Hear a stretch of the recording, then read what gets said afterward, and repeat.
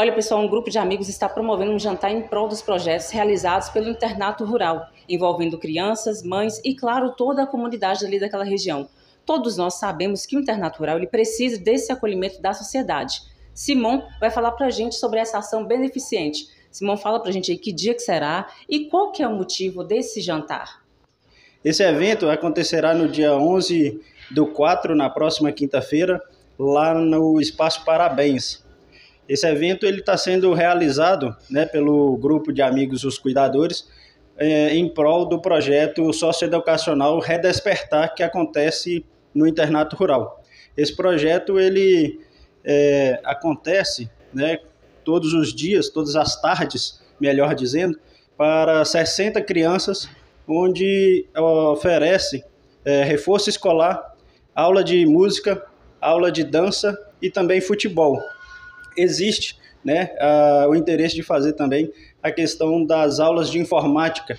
E por não ter orçamento, essas aulas de informática elas estão é, em stand-by. Então, o evento é justamente para a gente arrecadar fundos para promover mais essa oficina, mais essa aula para as crianças carentes no projeto Redespertar.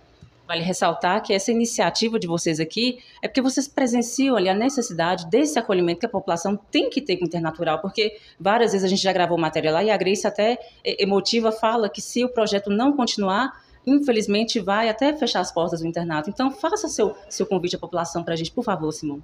É, aqui, em nome do, de todos os integrantes do grupo Cuidadores, a gente convida a toda a população de Teoflotone a quem se interessar de participar desse, desse, dessa noite é, com a gente, né, lá no Espaço Parabéns, e também a todos que queiram doar, seja em valores monetários ou em atitudes, em, é, sendo professores, né, acompanhando o, o projeto. Uh, a gente precisa da colaboração de toda a comunidade, igual você falou, a gente precisa que Teoflotone abrace essa causa para termos crianças formando com uh, dignidade e sendo melhores jovens, sendo melhores profissionais no futuro. E claro, não fechando as portas de todos os projetos que acontecem lá no internato rural, sendo, vamos dizer, toda a comida à disposição e a bebida será à parte. No evento nós contaremos com música ao vivo